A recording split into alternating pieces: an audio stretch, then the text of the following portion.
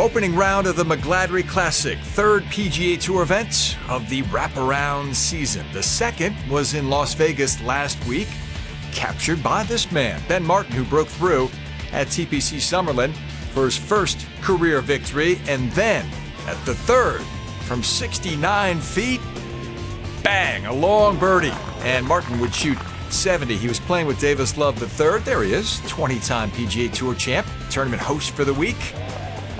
Birdie there at 10 for DL3. Then a very nice touch with this one from off the green at 14. Busy week for Davis inside and outside the ropes, and he shot 71.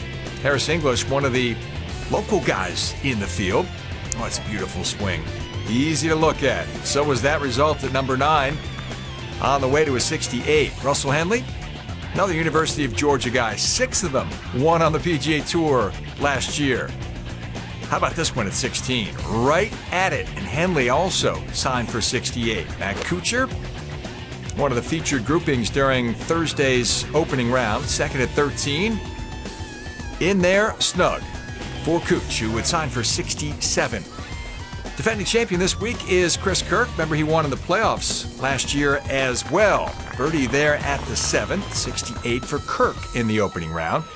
Long one here for Jason Kokrak at 11 finds the bottom on the way to a four under par round of 66.